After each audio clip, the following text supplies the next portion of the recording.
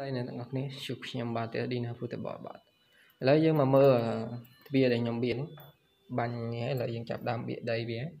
ផ្ចិតរុនវាឥឡូវខ្ញុំទៅលាដីបន្ថែមទៀតបាទយកបៀផ្ចិតរុនវាឥឡូវខ្ញុំមើលបៀចិត្តទៅ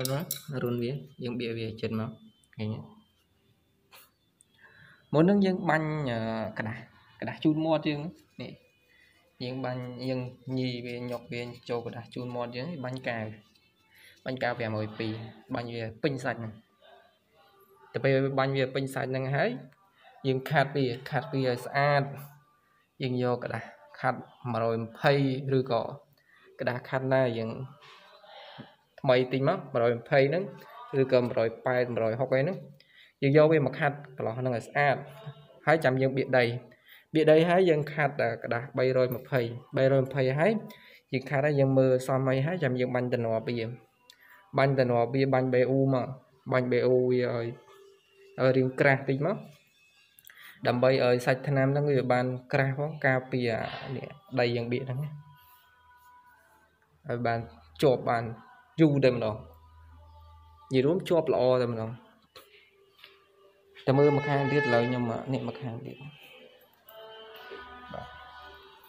នេះមកខាងមានតែខ្ញុំញុកกระดาษ យើងមិនតបានបៀកដីទេតបានខាត់ទេយើងញុកវាបន្ថែមទៀតយើងបាញ់កាវបន្ថែមទៀតទ្វានេះវាយើងធ្លាក់ធ្លាក់មកខាងអ្នកទាំងអស់គ្នាធ្លាក់មកខាងអ្នកទាំងមើលគ្នាខាងនេះនេះនៅចិត្តបាទអញ្ចឹងហ្នឹងអ្នកទាំងអស់គ្នាទៅធ្វើការបាញ់ថ្នាំជួយជួលថ្នាំជួយជួលគ្រឿងសង្ហារឹមចាស់ចាស់អី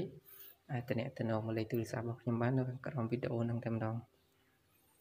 មិនថាទ្វារឬក៏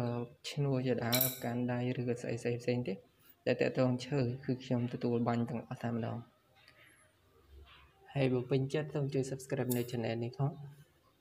ដើម្បីទទួលបានវីដេអូថ្មីៗជាប្រចាំតកតងចំណេះដឹងតកតងនឹងគ្រឿងសង្ហារឹម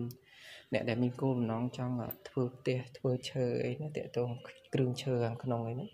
ហើយមើល Channel ហ្នឹងបានពីព្រោះ យើងបានដឹងព័ត៌មានខ្លះខ្លះបានដឹងពីវាខ្លះខ្លះចឹងវាស្រួលស្រួលនិយាយជាមួយជាង ស្រួលនិយាយជាមួយអ្នកតឡើងអីចឹងអ្នកទិញឈើអីអ្នកលក់ឈើអីហ្នឹងយើងអាចដឹងបានច្រើនចឹងវាស្រួលដែរអរគុណចំពោះការតាមដានវីដេអូនេះកុំភ្លេចជួយ Subscribe ផងជួបគ្នានៅវីដេអូក្រោយៗទៀតបាយ